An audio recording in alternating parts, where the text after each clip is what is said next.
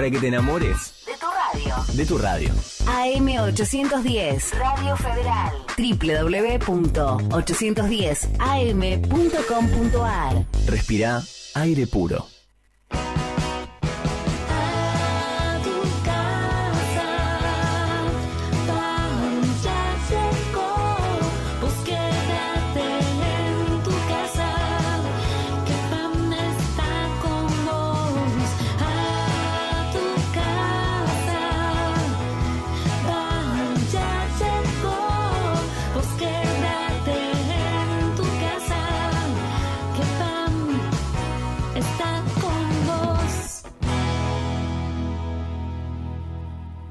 Vamos a hablar también con, nuestro ya amigo, doctor Diego Bernardini. Eh, lo voy a presentar, es médico de familia, graduado en la UBA, Argentina, con más de 20 años de práctica clínica. Es máster en gerontología, doctor en medicina por la Universidad de Salamanca, España. Tiene posgrado en formación eh, docente pedagógica, es profesor. Cuenta con formación en medicina familiar, geriatría, salud pública, eh, bueno, el- la verdad que el currículum de, de Diego es este, impresionante y, y su personalidad también lo es. Así que, ¿qué tal Diego? ¿Cómo estás? ¿Qué tal, Reina? Buenas tardes. Muchas gracias por el llamado, por la presentación, muy así como rimbombante. Pero te lo mereces porque la gente a veces dice, ese muchacho con esos pelos parados, ¿es médico? Dice. Una de las consecuencias de la cuarentena, que estén las peluquerías cerradas. Bueno, porque, eh, claro, te ven como una persona normal. Viste que los médicos siempre están todos así como lindos, como, va lindos, como arregladitos y con su guardapolvo. Y vos rompés las reglas, y a mí me encanta eso, porque digo, la gente puede verte a vos como un amigo más que como un médico, ¿no?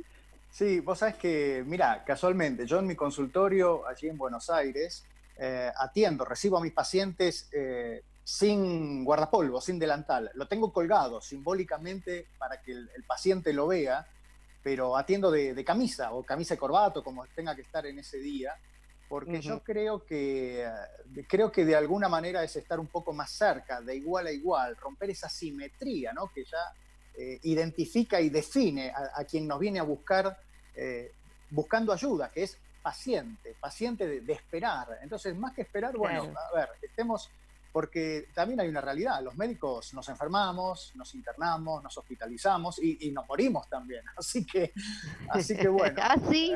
Ah, pero de eso no lo sabía. Bueno, ves que ese Bueno. es un tema que la medicina tiene que revisar, que la muerte forma parte de la vida y no es una derrota a la medicina, como muchas veces todavía se sigue considerando. Yo creo que vos sos, vos sos profesor, tus alumnos deben estar encantados con vos, escuchándote.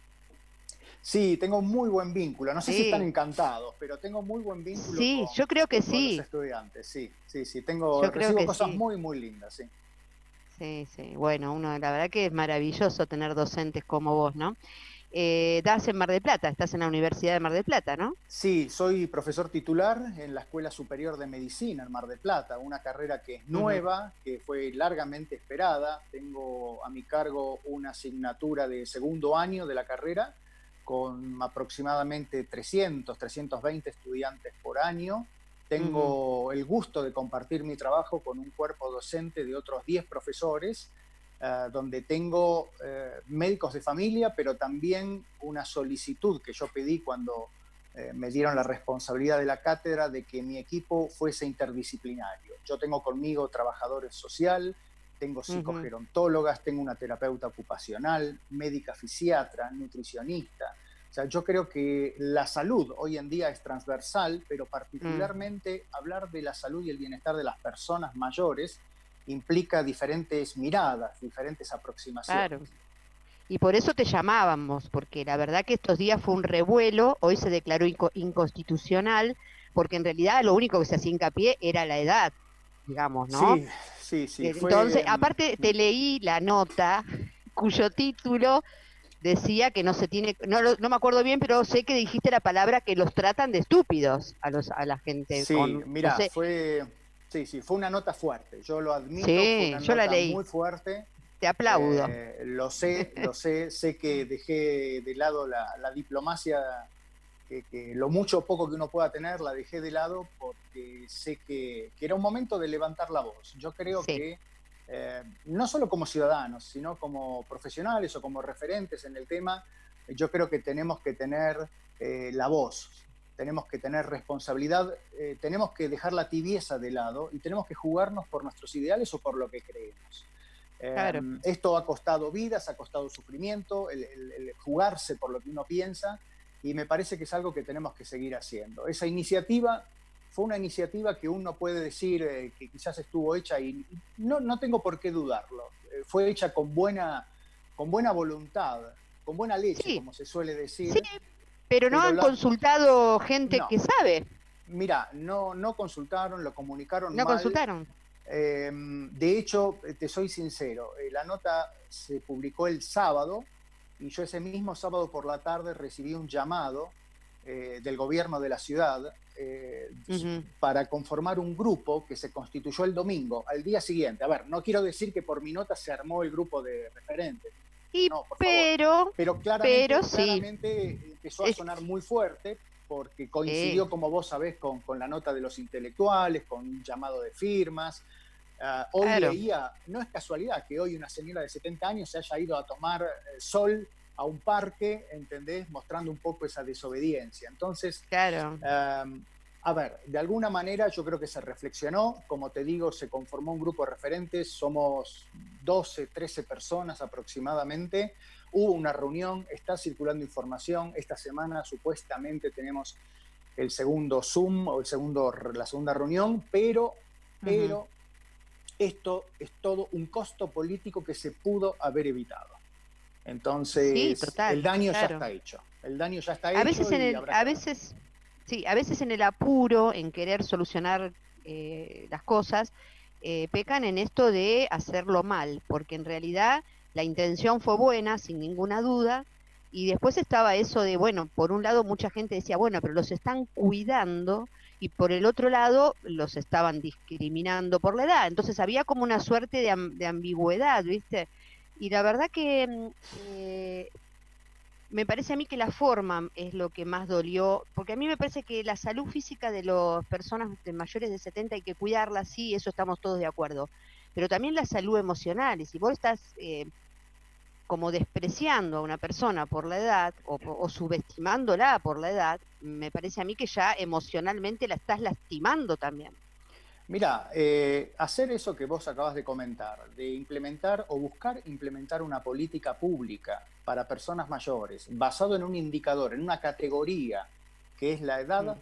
es entender la política pública con una mirada anacrónica, con una mirada, digamos, de- del pasado. Esa es la realidad. Eh, lo que ocurrió acá fue primero vulnerar los derechos, vulnerar el derecho de autodeterminación de las personas mayores, derechos que ninguno de nosotros debería perder hasta el último día de nuestras vidas. Y acá lo que se hizo fue vulnerar esos derechos, vulnerar la dignidad, porque al vulnerar un derecho vos estás vulnerando un valor tan íntimo, tan propio como es la Sí. dignidad. Y, y la realidad, ¿sabes eh, por qué es esto?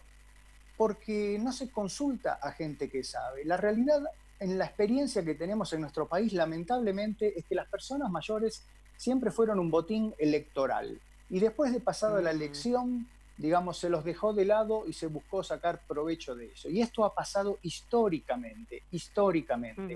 Y vuelvo a repetir, como, te- como, como vos lo viste escrito en ese artículo, esto pasa del lado y del color político en el cual uno se pare, en el cual uno se pare. Esto pasó Sí, en las últimas administraciones eh, y está pasando ahora y, y esto tiene que cambiar, porque además las personas mayores de hoy son protagonistas, tienen voto y ya lo estás viendo, no se están quedando calladas. y después que esto fue la gota que rebalsó, porque en realidad hay una suerte de subestimación de la gente mayor, ya sea en el área laboral, inclusive en el área familiar, me voy a atrever a, decir, porque hay veces que se trata a la gente mayor de la familia como si fueran tarados, y no lo no son. Por supuesto. Entonces- mira, la gente, mira, te, te doy un dato, un dato de color, eh, de color, pero basado en la evidencia. La gente muchas veces piensa que las personas mayores donde mejor viven es cuando conviven con sus hijos y con sus nietos. Y esto no es así. Hoy la estadística, No. cuando vos ves los estudios, nos muestran que las personas mayores la mejor calidad de vida la tienen conviviendo con un par, sea eh, la pareja, Tal el cual. acompañante, el amigo o la amiga. Después Sí. viviendo solo. Y en último, en última posición está el hecho de convivir con otras generaciones. Entonces, esto, ¿sabes qué representa, Reina? Esto representa la cantidad de estereotipos con los cuales la sociedad ve a las personas mayores. Personas mayores que tienen proyecto de vida, que se enamoran, que quieren sexualidad, que quieren viajar, que quieren estar solas. Y, y no hacemos más con medidas como estas de meterlos en la misma bolsa, de infantilizarlos, porque encima Claro. y vos lo sabés muy bien, la cantidad de colegas tuyos que dicen, y políticos, y personas que dicen nuestros mayores. ¿Pero qué es esto de nuestros mayores? De apropiarnos de Claro. mayores. Por favor, por favor. Y eso molesta. Yo escuchaba la verdad y yo decía, la verdad que de- es molesto. Y de hecho, nosotros, que ya no somos nenes tampoco, chiquitos, nos damos cuenta por nuestra familia que a veces la gente joven culturalmente es así, no lo hacen por mal, ni pero yo no sé cómo, cómo esa cultura de que después de determinada edad ya pareciera, bueno, ya te tom- ya te ven como viejo o vieja, ¿no? Y yo digo, eh, no lo entiendo. ¿Por qué tiene que pasar eso y por qué no cambia? Es decir, cambian un montón de cosas, pero eso no, no, no se modifica. Mira, eso va a cambiar, eh, yo creo que yo, que- creo yo que va a cambiar a la fuerza. Y esto lo digo porque la realidad es que el gran, el gran factor que va a modificar la sociedad de, de esta primera mitad del siglo XXI son las personas mayores, los que estamos arriba de los 50. Eh. La realidad es esta, nosotros o la población cada vez está viviendo más, estamos teniendo menos hijos y los que somos mayores, o sea, las personas mayores van a ser la regla, el gran cambio de esta sociedad. Entonces, eh, ya hay gente que se dio cuenta de esto, algunos gobiernos, algún sector privado, alguna corporación, pero bueno, eh, parecería ser que en Argentina vivimos en, en- en una nebulosa donde no hay información, donde no hay datos, donde nos basamos en creencias sin ningún tipo de justificación científica o académica.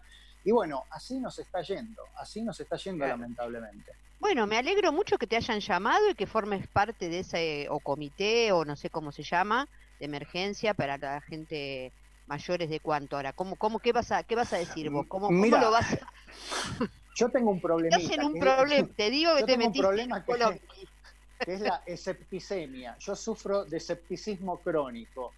¿Sabes por qué? Porque mi, mi- mi valor, mi posicionamiento frente a la política es que la política es defender el bien común, es, el- es defender el bien Claro. de todos. La política Sí. es un recurso, es una herramienta para poder mejorar la vida de la ciudadanía. Y eso es algo que en Argentina lamentablemente no se entiende y no se entiende desde hace mucho, mucho tiempo. Eh, y te voy a decir esto, estamos viviendo porque todo esto viene acarreado de una situación global que es la pandemia. A Claro. nosotros en América Latina nos está llegando esta ola después que pasó por Asia, después que pasó por Europa y después que pasó por Estados Unidos. Países que tienen sentimiento colectivo, en el caso de los asiáticos, mucho más fuerte que el individualismo, además de gobiernos autoritarios, algunos de ellos. Europa con instituciones muy sólidas de protección social que tienen que ver, por ejemplo, con el sistema de salud, y Estados Unidos, que es el país más rico del mundo. Y sin embargo están sufriendo como están sufriendo. Entonces mi pregunta es, ¿por qué en Argentina debería ocurrir algo diferente? ¿Por qué tendríamos que ser el pueblo elegido de que no nos va a pasar algo parecido a eso? Señores, necesitamos información válida, necesitamos ver esos escenarios previos, necesitamos transparencia y rendición de cuenta y números claros, números claros.